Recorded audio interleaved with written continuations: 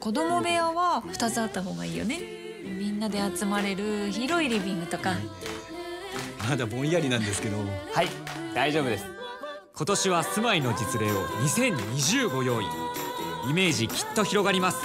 これよくない？なんかいい感じがさ、こちらならご案内できます。えー、見に行けるんだって。さあ新春ハウジングフェアへ。